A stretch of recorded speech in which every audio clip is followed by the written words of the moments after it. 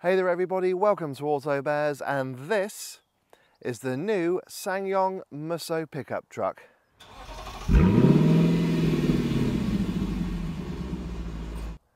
Now, in the last couple of years, the number of manufacturers actually producing pickups for the UK market has actually declined a little bit. We've lost established brands such as Mitsubishi and Nissan with the L200 and Navara. So if you're after a conventional pickup truck, you're actually down to around five manufacturers. You've got Volkswagen, Ford, Toyota, Isuzu, and SsangYong with this Musso. And I've got this SsangYong Musso for a week and I'm going to let you know, well, if it's any good in this highly competitive pickup segment. Now, when it comes to the Musso styling, just like the Rexton I tested earlier this year, the Musso has had a bit of a midlife facelift, and it's all for the better. It definitely looks much more striking and actually very utilitarian at the same time. It definitely means business. Now, on this Saracen trim, we do have some blacked out body panels to give it a bit more of a sporty look, particularly with the ladder grille, wing mirrors and door handles, tinted windows, as well as the 18-inch alloy wheels as well. But let me know what you think of the Musso's looks in the comments section below, but I definitely think it has a very purposeful utilitarian look to it. And actually, yeah, I think in this very competitive segment, it should stand out. Now I think that's enough of looking at the outside of this new Musso. Let's see what they've done with the interior. Sat in the front of the Musso, you are greeted by a very spacious, very comfortable and surprisingly well-equipped cabin. Now, of course, this being a pickup truck, you have to climb up into the driver's seat, so you do have a grab handle here on the A-pillar, which is very handy. And then once you're sat in the seats themselves, you find that they are very comfortable and there's plenty of adjustment. And on this Saracen trim, they are electrically adjustable up front, and I even have lumbar support. Now, the one thing I will mention is I did have a taller passenger who's quite long in the leg, the lucky bugger, and he was telling me that there was actually a little bit less support underneath than he was expecting. So just be aware of that. Of course, with my short stubby legs, I've had no issues whatsoever. I will also mention that the seats up front are Nappa leather as well, so they do feel of a very good quality. Also, with the steering, I do also have if I can find the handle, there it is, both rake and reach adjustments. So getting the perfect driving position is easy. Interior quality is actually pretty good in here as well. We got soft touch plastics here on top of the dash and on top of the dials, but it is a little bit hard up here, but we have got a tray which is lined with rubber, so that is nice. It is hard scratchy plastic on top of the doors, but we have got a bit of leatherette trim here on the door handle and on top of the armrest. Then around the rest of the cabin, we have got this carbon fiber effect trim and actually a bit of Nappa leather here on the dash as well. So I do really like that. And then lower down, of course, yes, this being a pickup, it is hard scratchy plastic again, but it does feel of a decent quality and should stand the test of time. Now we have got a couple of new arrivals coming from Volkswagen and Ford with the Amarok and uh, the Ranger and I wouldn't be surprised if they have better quality interiors than the SsangYong but then again they have got an element of lifestyle about those pickups whereas the SsangYong does feel very much like a workhorse which is no bad thing. Cubby spaces in the Musso are actually really good. We've got some very decent sized door pockets where you can get a large bottle of drink in there, but they're not lined with any fabric, so loose items will rattle around a bit. Then on the center console up front, we have got a little tray area, which is kind of hard plastic slash rubber lined. You can't put your phone flush in there, but it can rest up whilst it's charging. We've got two USB charging sockets as well, as well as a 12 volt socket and also a cigarette lighter as well. It's been a long time since I've seen one of those in a car, but you can of course use that as well as an additional 12 volt socket. Then behind the four-wheel drive select, we've got a couple of cup holders, which are of a decent size, with a couple of plastic grippers, and it is rubber lined. So you can get a can of drink in there, and it's not going to rattle around anywhere. However, if you go for an energy drink, then yes, it might do so. Then underneath the armrest, We've actually got a very decent amount of additional space as well, and it has got a little bit of fabric on the bottom, so loose items, items shouldn't make too much noise, but that is really handy. I also like as well the height of which the armrest sits so I can rest my arm on there on a long journey. And then finally we've got the glove box which is lockable. And you've got a decent amount of space in there but as you can see it is taken up with the book pack and the locking wheel nuts. Of course you can move those elsewhere if you wish but it isn't lined with any fabric so again loose items will rattle around a bit but it's a decent amount of space in there as well. But just be aware as I said the book pack and the locking wheel nuts do take up a bit of space in there and that's pretty much it when it comes to cubby spaces up front in the Musso. It's actually pretty decent. And as I mentioned earlier, we have got a little tray area on top of the dashboard there, but there's no cover, cover covered on there, so I should say. So that way, if you are going to put your wallet or something valuable there, it is on show for everyone to see. Now there are quite a few buttons here in the Musso's cabin, but they are very nicely laid out. So just underneath the 9.2 inch infotainment screen, we have got a number of shortcut buttons and a little rotary knob. Just below there, we've got your dual zone climate control, and just below there as well, we got your heated and ventilated front seat control. And they are nicely laid out and very easy to use when you're on the move. Then we have got your drive mode select here next to the gear lever, as well as your four wheel drive high and low gear selects little rotary knob there just behind the gear lever. Then on the right hand side we have got your hill descent control and traction control buttons. And on the steering wheel on the left hand side we've got your media and communication controls as well as the heated steering wheel button. And on the right hand side we've got your cruise control and driver data controls. So you can go through the various menus whilst you're on the move. And that is one thing I do like about the layout of the buttons here on the Musso is that it is actually very easy to operate when you're on the move and driving. So I do like that feature.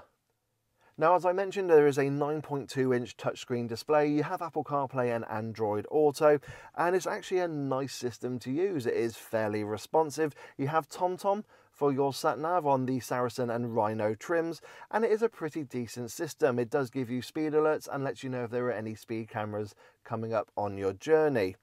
And yeah, it's, I've got no complaints whatsoever in regards to the actual system itself.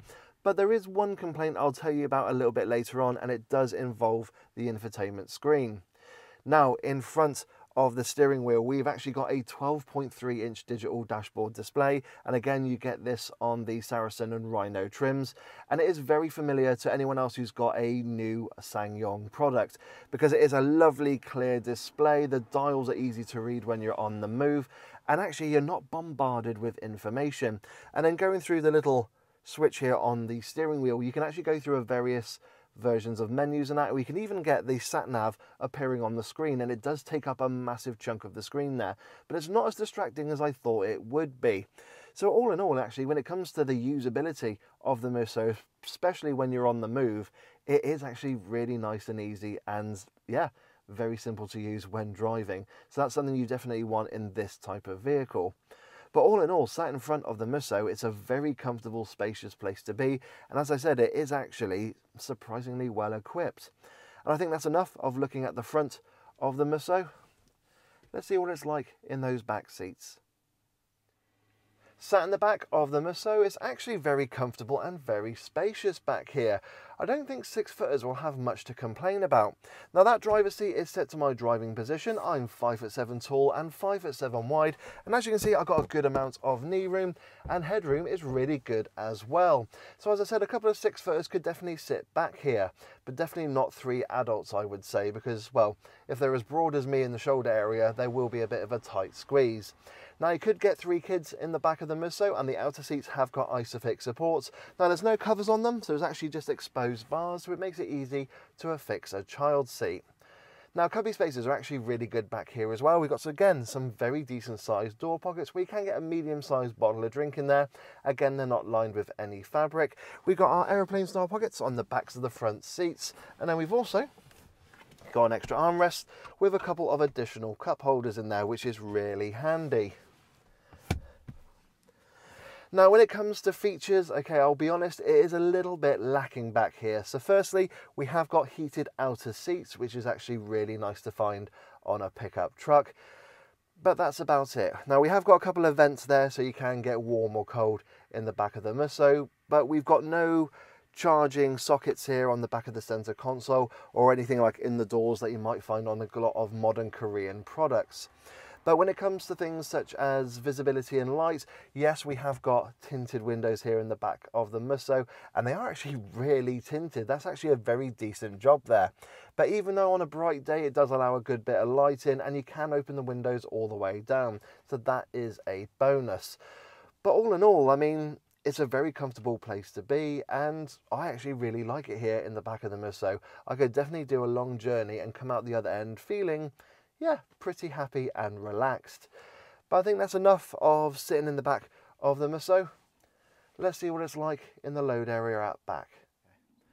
Now, just like a lot of other pickup trucks, you can tailor the Musso to your business requirements and needs, and there's a huge amount of customization available. Now, if you want to know what's fitted to this particular car, I will put them down in the comment section below uh, with their prices at the time of filming. Now, just like any other pickup, we have got a tailgate, and when I get it open, firstly, we find it's not damped, which is a little bit disappointing, but we have got just over a thousand litres of space, and the dimensions are coming up here on the bottom of the screen. But the good news is, is that you can get a Euro pallet in the back of the Musso and you can get over 1100 kilograms of payload in the back as well. Now the Musso's party trick is that it can actually carry a ton of payload and tow three and a half tons at the same time, which is hugely impressive. What's even more impressive as well is this isn't the biggest Musso you can go for. If you go for the top of the range Rhino, that actually gets classed as a long wheelbase version, so you actually get more space in the back of the Musso, which is really handy if that's what you need for your business. But yeah, it's just a hugely capable pickup truck with the Musso, and it is very competitive in this segment. But I will put more details about the Musso and what it can do in the description below.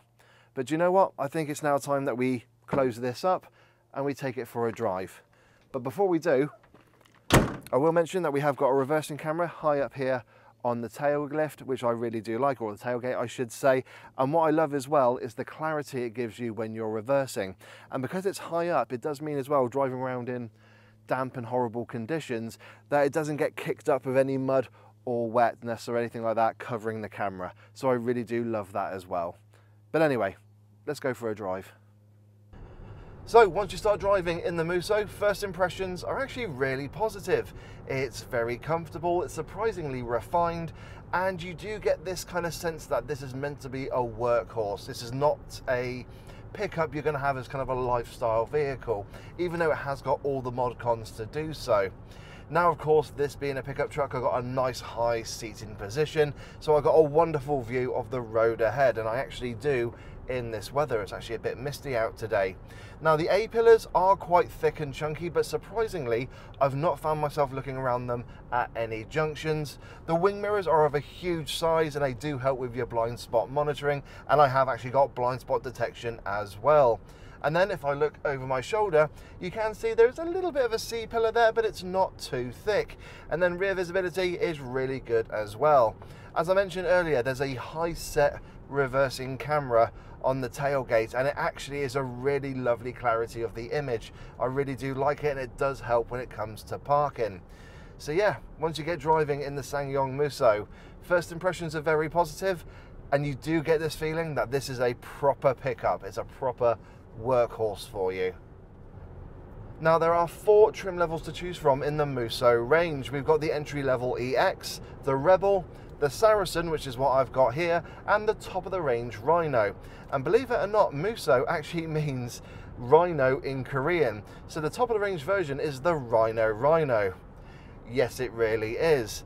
Now, there's a couple of things I will point out in regards to the Musso lineup. So the first three trim levels are all classed as a short wheelbase version of the pickup, but you can still get a Euro pallet in the load area at back. However, if you go for the Rhino, you do get a long wheelbase version. So if you really do need that extra bit of uh, load capacity and space at the back, that would be the one to go for. If, however, you don't, well, the Saracen, I think, is the one to go for. You get everything you need in terms of standard equipment, and the only thing I would say is that it is lacking in some safety features, especially when compared to rivals but I've not really had any issues with it whilst I've been driving the Saracen this week, and I've not felt that I've kind of needed some of those, you know, extra safety aspects. But I will point out that it is missing some compared to rivals. So yeah, that would be my choice. Go for the Saracen, get all the lovely mod cons and comfort features, as well as some of the safety tech as well, and just enjoy all that capability at the same time. Now, when it comes to powering your Musso, it's nice and simple because there's one engine available.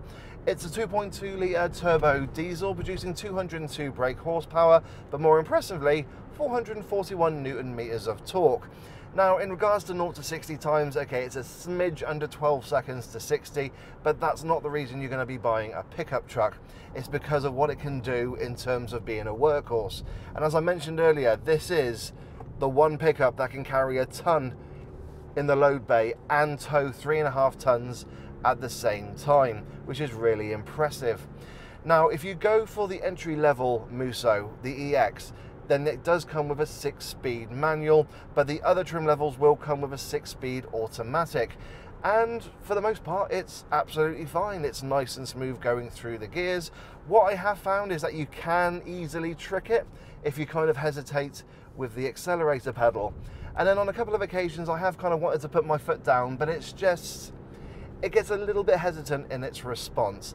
It's not a terrible thing, but you know, compared to a car, for example, yes, it will feel quite slow. But in terms of, well, again, being a workhorse, you should have no issues with it. Now you can actually put it into manual mode and there's this little rocker switch there where you can actually adjust the gearing manually.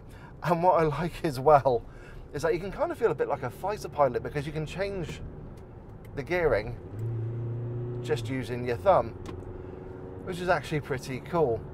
Now, when it comes to economy, now SsangYong say I should get around 31 and a half miles per gallon on a combined cycle, and that's a WLTP cycle as well.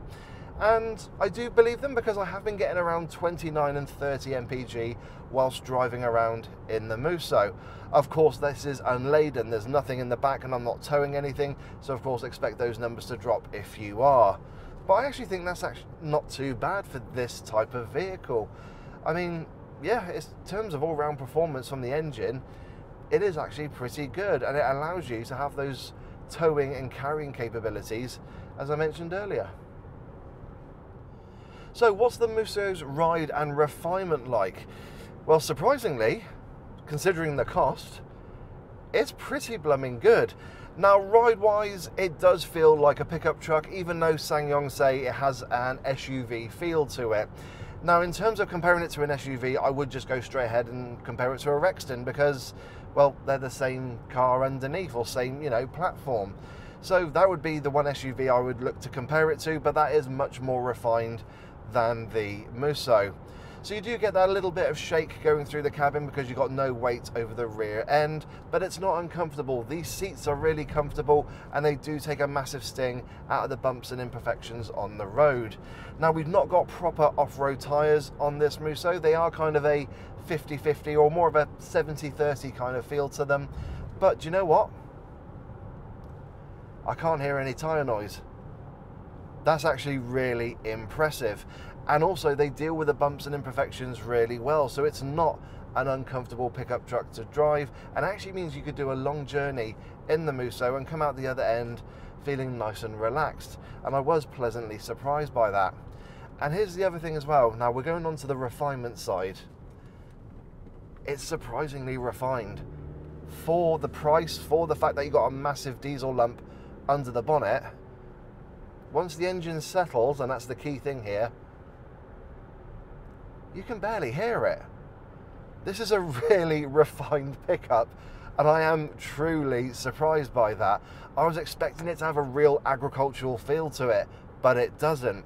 So that's something I really do like about it. And again, it adds to that kind of comfort of knowing that you could do a long journey in the Musso and come out the other end feeling nice and relaxed and not feeling like you've been in a harsh kind of cacophony of noise. So I am really impressed by that. So yeah, for a pickup truck that starts at just over £24,500, surprisingly comfortable and surprisingly refined as well. I am impressed. So what's the Musso's handling like?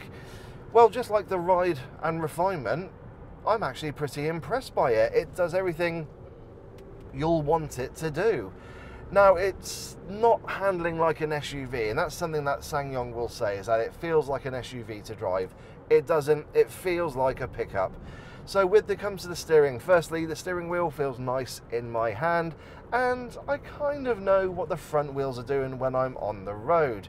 Now there's a little bit of over assistance with the steering, so it is quite light, but there's a little bit of weight there, so it does mean that I'm not kind of chucking something lightweight around on the roads, otherwise it would feel like a video game, and that's not what you want in a pickup. But yeah, in terms of everyday driving, it's got enough weight in it so it feels like you are moving the Musso about, but it's light enough that it's a doddle to park.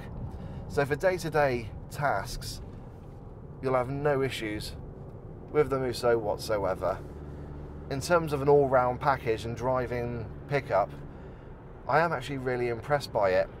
It does everything you want it to do. Now, one thing I will mention about the Musso is its off-roading capabilities. They are lacking against some of its rivals. Now, of course, you can put it into a four-wheel drive high and low ratio gearbox setting, but against a couple of its rivals when it comes to things like the approach angle or the departure angle, yes, the Musso is lacking and you have got the risk of catching it on some quite steep inclines. So that is something to be aware of. But if you're just going to do a bit of a muddy field to drive on, you'll have uh, no issues whatsoever. But if you are looking to do a little bit of hardcore off-roading in your pickup, the Musso's not one, the one to go for. So just be aware of that. So what have been some of the highlights and some of the low points I've experienced living with the Musso this week? Well, high points have definitely been the comfort levels. I actually am really impressed by it, and going with the way that it drives, it means it's a really nice pickup to drive on a day-to-day -day basis. You could use this as a little daily drive. Just gonna get myself, oh, a little bit of cross road in here. Let that truck pass. And then comes the capability, the fact that you can carry a ton and tow three and a half tons at the same time, I think is hugely impressive. Again, for the price, that's a lot of capability for the money. Now, it's not perfect. As I mentioned, yes, it is lacking in some of the safety features you would get in some of its newer rivals, but I've not really missed them. So that's one thing I will mention. It's just the kind of yes, I know I haven't got things like lane departure warning and that, but you know what? In this day and age, that's kind of a blessing because a lot of these lane departure warning systems are a bit oversensitive. And then we've got a couple of little little niggles that I have come across. Now the first one is you, there's not much kind of movement in the seats in the back. You can get the the back down and make it nice and flat and you've got access then to your tyre puncture repair kit, but you can't lift the seats up because they are heated and you don't want to get the wires and that snagged on anything.